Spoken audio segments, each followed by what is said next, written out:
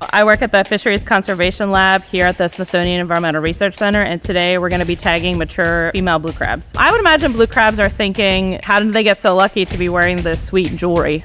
We'd want to know the timing of their arrival into the spawning grounds. We're trolling now. Great. Get me some crabs.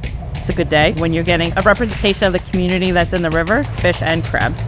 Okay, we got some mature females. We need to tag about 10.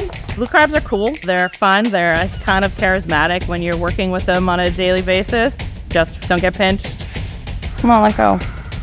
Acoustic telemetry, animal tracking, where a tag emits a sound. You don't need to tag hundreds of blue crabs. You can get a lot of data back just from a few crabs.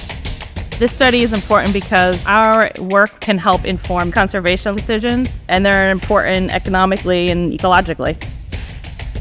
Bye, ladies. Happy life. Three.